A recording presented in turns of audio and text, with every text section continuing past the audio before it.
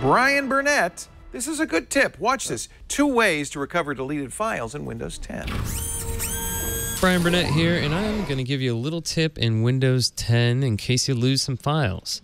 Now, we're all pretty familiar with if you delete a file, it goes to the recycling bin, and you can just pull it out of there and put it back on your desktop. But what happens if you empty your recycling bin and there's something in there that you wanted? You can download a program like Recuva and it will scan through your recycling bin and give you the files. Now, through process of elimination, you can figure out what file it was that got deleted. They don't have the former file name, but you can find a .wav, which is the file I was looking for to recover. You can also use it to scan your entire computer. Now, what happens if you run into a situation where you delete a big file, you know, like 8 gigs or something bigger than that?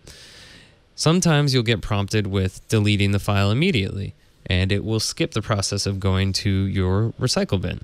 If that happens, what you can do is make a new folder, rename it to what the old folder's name was, and then go into the properties, go to previous versions, and do a restore. And Windows will restore your folder back to what it was. And as you can see, I have all my pictures and videos back.